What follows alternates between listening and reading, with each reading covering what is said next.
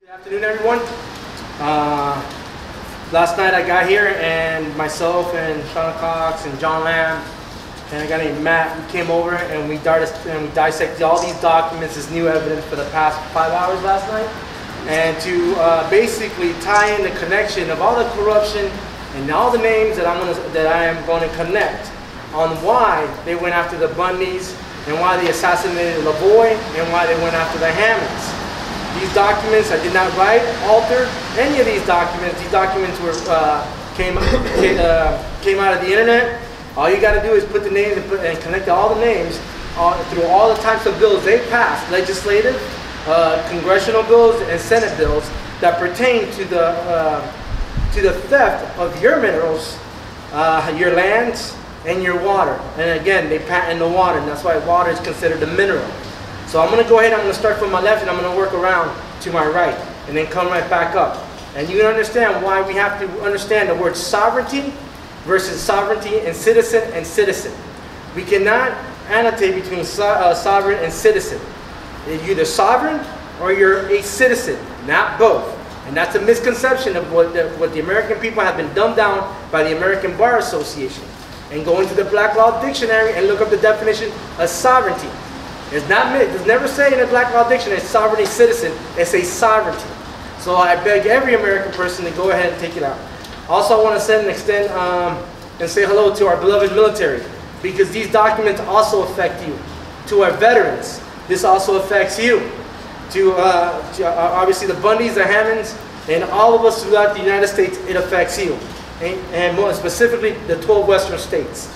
This is why we're here. This is why the Bundys are incarcerated. This is why they assassinated LaVoy. This is why they stole the land from, uh, from the Hammonds. And we got to also understand the connection with Uranium One, Hillary Clinton, Harry Reid, Jeff Merkley, Ron Wyden, Ted Ferrioli, Greg Walden, Gordon Smith, uh, uh, Jeremy Comey from the FBI, and Loretta Lynch, and, and Cliff Bentz, Boyd Britton, Andy Bentz, Linda Bentz, Stephen E. Grasty, Dan Nichols, Don, uh, um, uh, Peter, uh, uh, Peter Russell, uh, so these are all the names that are going to be coming out.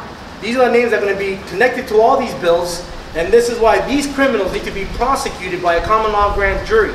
At a minimum, by the, by the Attorney General himself. Because these documents do not lie. And these documents, what I'm going to say, is for them, for the, for the American people to decide what is true. And are we going to hold these criminals and indict these criminals from Salem all the way to Washington, D.C., including Uranium One and John Podesta. That's his name's on it. And this will be elaborated with Senator Chuck Grassley's two, e two, two emails, or two letters to, uh, with, to Loretta Lynch with respect to Uranium One, Russia, China, ISIS, and Iran. So let me start over. Let and start I'm here to say that these are authentic um, documents and they have not been altered. These are uh, uh authentication of things, of documents that we found. So I'm going to start with the basic. These, how are these all these co-conspirators affiliated? I want everybody, if possible, to go ahead and look up the Oregon benchmark. And there's one dated spring of 2014. There's also one for the fall of 2011. And there's also another one for 2015. And in conjunction, if you go to OWLS, which is called the Oregon Women uh, uh, Lawyers, on the advance sheets, you will see how they're all affiliated to this. And this is a 5013C uh, corporation, including the Lawyers for Equal Justice. On these documents, they're also part of this. And we also have to understand the common denominator between all these individuals the Lewis and Clark show on how they are practicing under Admiralty law. But not just Admiralty law, but their specialty is, is in environmental and natural resource. What's natural resource and what's environmental? And you guys are going to decide the truth. Because at the end of the day, it affects all the ranchers and all of us that pay taxes.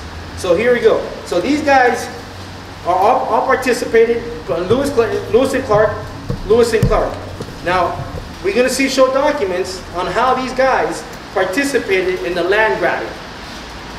So we got this right here, and I'm gonna put this right here. You're gonna see a case number, and what you guys can see is gonna be is gonna be Robert Charles Curtis versus the state of Oregon and the United States of America. And the same co- the co-conspirators that are behind the behind the Bundy's case are also Ellen F. Rosenblum, which donated to Kate Brown, and we got Anna J. Brown in this case with respect to lands. This gentleman's in jail and he lost his land, all on the expense of Anna J. Brown. This is one of many cases I'm going to show you where Anna J. Brown has her hand in a cooking jar and why she has her hand in this cookie jar. We're going to go ahead and we're going to come up with Callan. What does Callan, what does Callan mean? Callan means basically your financial disclosure forms, which this is one of just one page of mostly probably about 50 pages of Anna J. Brown financial disclosure forms, where she has hedge funds. And these hedge funds consist of minerals.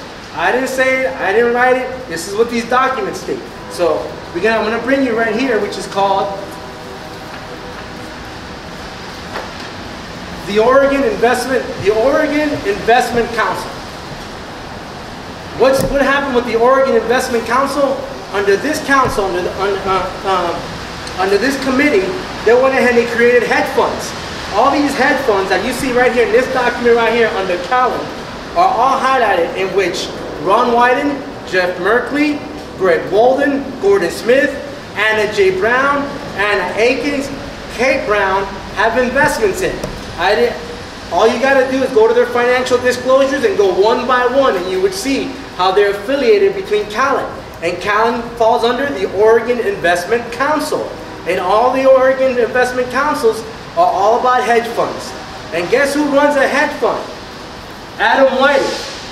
Ron Wyden's son right here. His hedge fund's right here, which was filed on 516 of, of 2016. This hedge fund is actually under Callan. D.E. Shaw Investment Organization, in which in which Adam Wyden got an internship, an inter- internship to work for uh, D.E. Shaw Investments.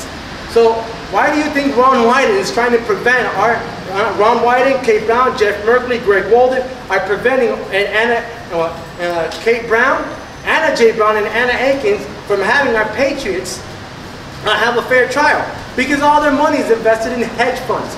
All these new documents have been validated. Shawna Cox, uh, uh, John Lamb has come on and validated these documents. These documents have not been altered. I beg everybody to go ahead and go ADW, I mean Adam Wyden uh, Capital Partners, L, uh, LP. This is a hedge fund and, and son of Ron Wyden. So we have to understand that Ron Wyden is a big participant in this and why he's so adamant. And I'll show you on the bills that he participated in. So he has his funds in this. This is big. We have here a letter. It's called a suit over stalled land trade to move forward. Federal District Court rejects Forest Service's attempt to dismiss suit that seeks to enforce the requirement of 2008 uh, Mount Hood Wilderness uh, Bill. And guess whose names are on these bills? You're to see Anna, uh, Anna J. Brown, another, another uh, document right there with respect to land grabbing. And you're going to have here Ron Wyden, Jeff Merkley, and Earl uh, Blumenauer. And guess what these jokers participated? They, they, participated in what's called the Crest, uh, Crest Pacific. And what is a, the Crest Pacific? Is basically how they went ahead and they went ahead and they started doing this document to land grab. And